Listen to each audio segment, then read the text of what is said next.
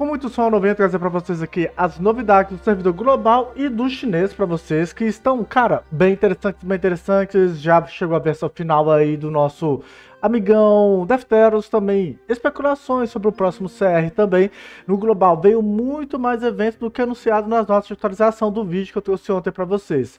Então, sejam todos bem-vindos a mais um vídeo do canal do Next Awakening, bora lá. Primeiramente, nós temos o Albafka, né, reforçando, ele não se juntará na pool de vocações, mas é um dos melhores personagens do jogo, né, pelo menos eu acho ele um dos melhores personagens do jogo. E dá para pegar alguns fragmentos dele, completar, mas lembrando, vai ter Gato da Fortuna na próxima segunda-feira e o próximo banner possivelmente será a Sasha também. Eu acho o Albafka melhor do que a Sasha, para falar a verdade, mas a Sasha tem treinamento. Então fica a seu critério também, por causa da restituição que a Sasha vai ter de treinamento. Beleza? Mas entre escolher Albafka e Sasha, eu acho o Albafka melhor. E tenho inclusive a Sasha nos duelos sagrados para testar de boas essa semana também, para você ver como é a mecânica dela. Chegou aí o livro da Onipotência, vai ser com tema de skins e teremos o Alone, o Lune e o Sukio como destaques aí para o livro da Onipotência. Muito bom, né? Porque, pô, Sukio, né, galera? Quem tiver aí alguns recursos poderá pegar a skin por enquanto que está disponível para ele, beleza? Vamos para a próxima aqui. Temos o Resgate da Deusa, que é missões extras de para ganhar fragmentos de personagens femininas. E também temos a Sasha aqui, como já dito, nos duelos sagrados teremos o Loja de Troca Emissário dos Deuses, que é a loja de troca de livros roxo, né? Que tinha muito tempo que não vinha, né? Por exemplo, a primeira vez que vai vir esse ano, nós estamos aqui na metade do ano praticamente, e é a oportunidade para você trocar alguns recursos aí, vou falar para vocês quais são interessantes. Mas para quem tem conta assim já endgame igual a minha, cara, isso aí vai ser muito bom. Gato da Fortuna, né? Na próxima segunda, evento Pay para comprar aí o upskill do Albafka. Tipo assim, essa aqui é minha conta secundária, mas na minha conta principal eu tenho 3 mil fragmentos de livro roxo, só para vocês terem ideia, né? E entrando aqui também, teremos a loja estrela, que vai atualizar hoje meio-dia, então se você não resgatou até meio-dia de hoje para resgatar. E a partir de meio-dia teremos mais uma cópia aí do farol, skin do cano de dragão marinho, beleza? E vamos verificar também a próxima votação.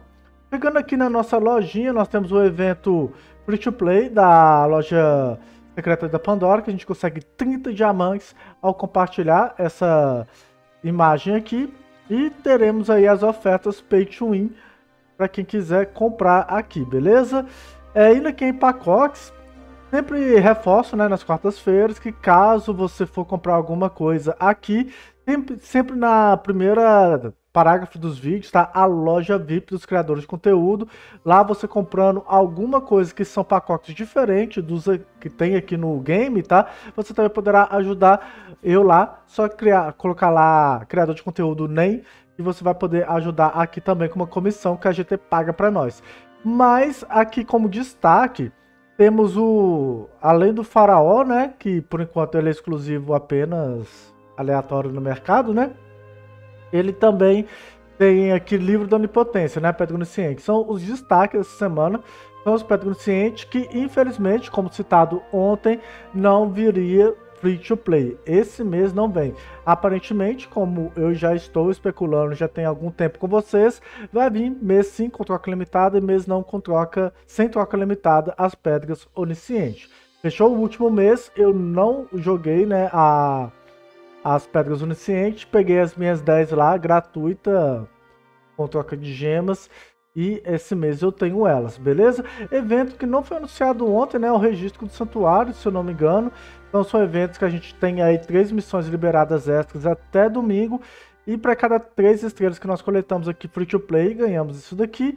E para pegar o livro roxo, você tem que adquirir três missões pay to win. Aí você consegue completar mais um livro azul.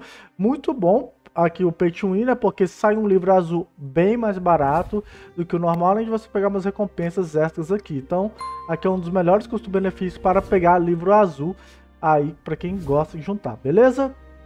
Então, confirmando aqui, temos nos duelos sagrados a nossa deusa Sasha.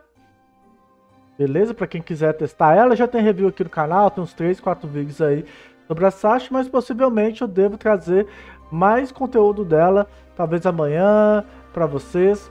é, talvez à noite, né? Porque deve ser o vídeo do Defteros hoje à noite e amanhã sumos do Defteros. Não, sumo do Defteros vai sair não, né? Porque o Defteros vai chegar acho que sábado.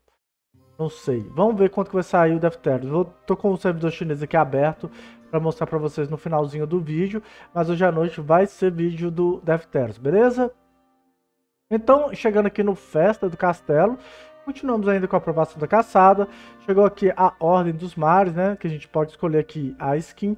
No caso aqui, essa conta, eu acho que não tem skin do Alone, né? A skin do Alone seria melhor. Embora o Alone aqui eu nem tenho ele upado, né? Mas como o Alone é um EX, Alone deve ser um 3333, né? É. Mas dá pra pegar duas skins aqui, né? No... Vou só rodar o gratuito aqui com vocês. Aí eu pego ele e aí depois eu posso pegar também, dependendo da situação, o nosso amigão kill. Mas não veio nada, né? Então, enfim, não vamos jogar aqui, vamos jogar aqui, vamos jogar. Vamos ver até quanto que vai vir aqui o Alona, é bom que a gente vê o que que tá vindo aqui também. Na verdade, eu não queria gastar aqui, porque aqui eu faço SS, né? Aqui eu não tenho todos os SS, ainda falta Poseidon e Hags aqui. Aí demole, não era pra eu ter gastado aqui não, mas agora que eu comecei a gastar, vamos pegar, né, a skin do Alone. Um dia chega o CR dele aí, ó. Tá dando muito crítico aqui, né? Como vocês podem ver, já tô com 65 pontos.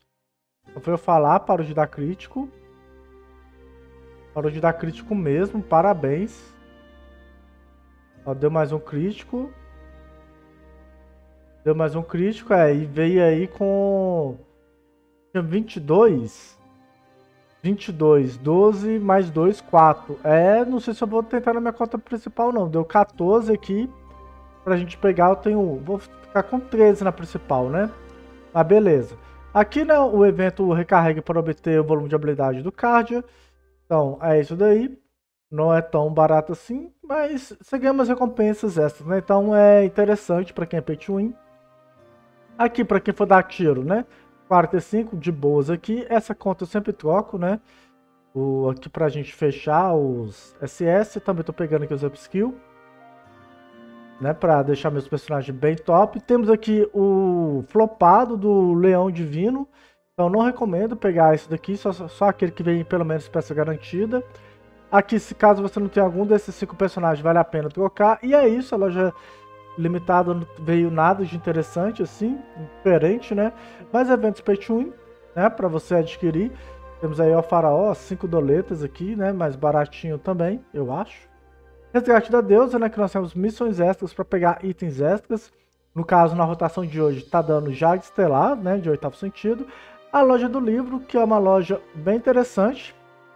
Aqui, se você já é indie game, tipo eu, já tem todos os metas já upado e tal, e tá sobrando livro na conta, cara, vale muito a pena você trocar aqui como destaque para contas iniciantes, intermediárias, então isso aqui você pode dar uma acelerada, tá? No pedra de ressonância, embora depois fica faltando, mas é uma opção de pedra de ressonância. Esse daqui é muito bom, normalmente fica faltando, então rebenta seus livros 3 estrelas, esse daqui vai valer mais a pena, tá? Pede fortalecimento pela sua raridade, fundo dourado, né, galera?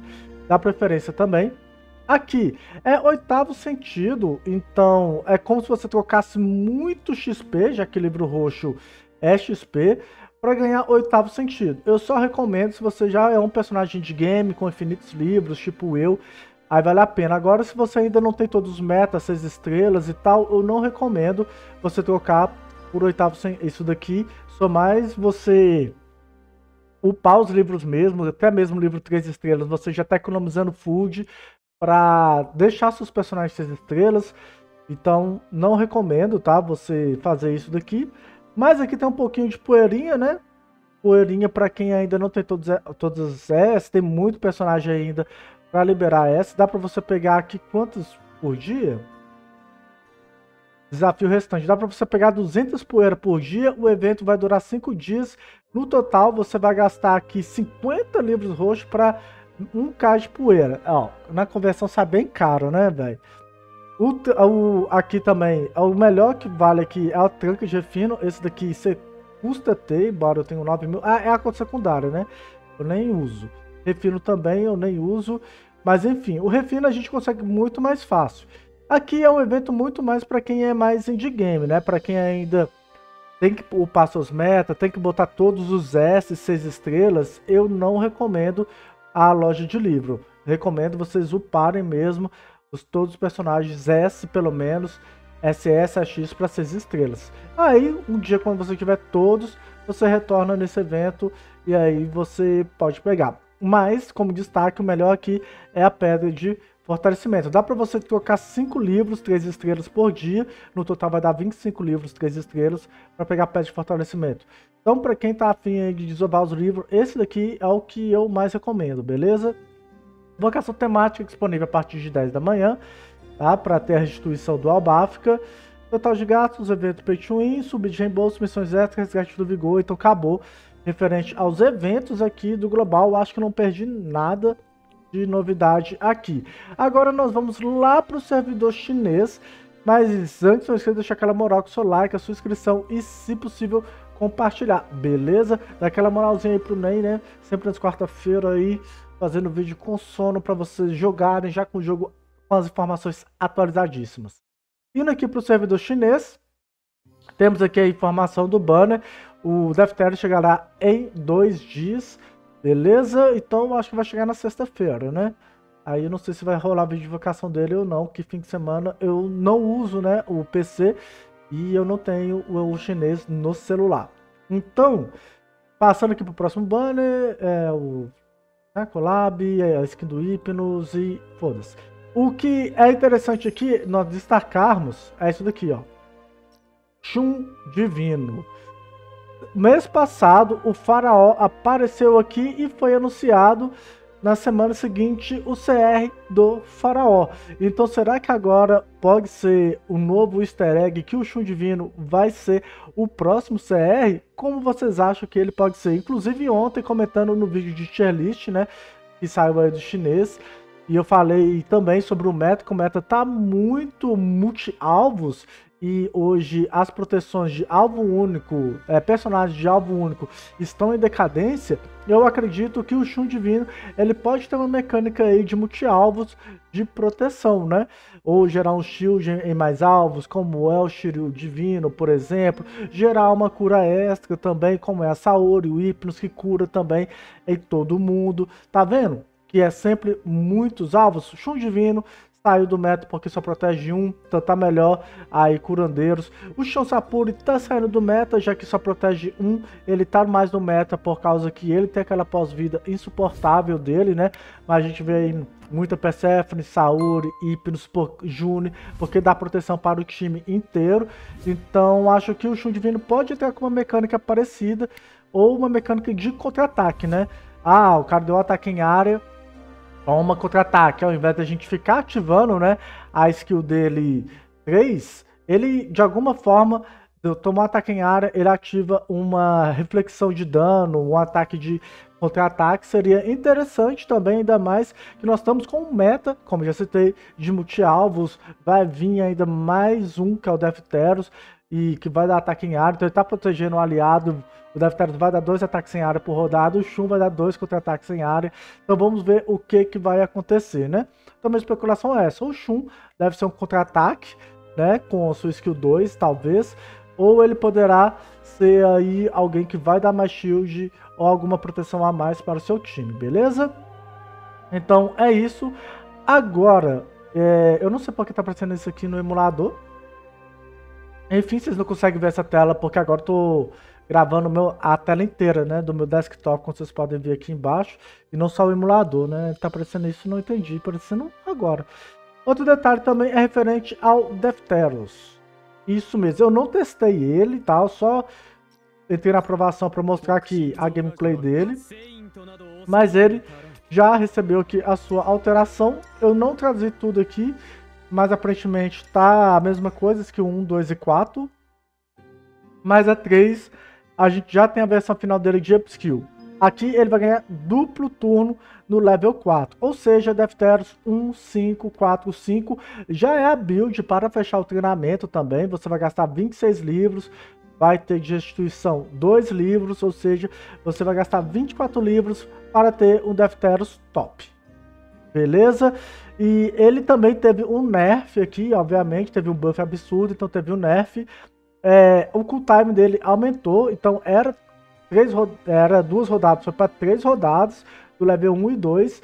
E no level 3 ele ficava com o cooltime de uma rodada, ficou duas rodadas. Beleza? E no level 4 ele teve esse outro buff de ganhar uma ação extra. E tá muito top. Comenta aí que times vocês pensam fazer com o Defteros. Hoje à noite vai ter gameplay só de Defteros. Eu vou abrir uma live, eu acho que hoje de manhã, talvez umas 11 horas, a...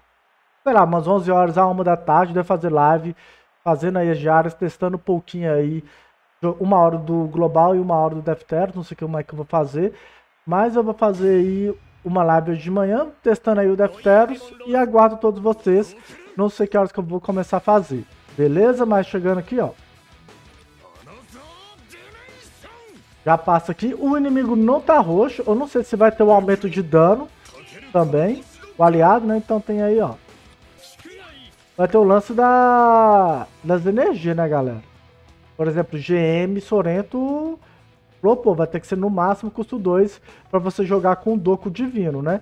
Para usar esse combo aí. Tem que ser um personagem custo 0, 1 ou 2 para usar esse combo, beleza? Então é isso, vou ficando por aqui. Defteros está uma delicinha, então hoje à noite eu vou trazer aí os combinhos de Defteros para vocês e aguardo vocês na live para caso alguém queira ver eu gravando o vídeo ao vivo, né? Vou testar as comps ao vivo hoje de manhã, fechou? Vou ficar por aqui e até o próximo vídeo. Valeu e fui!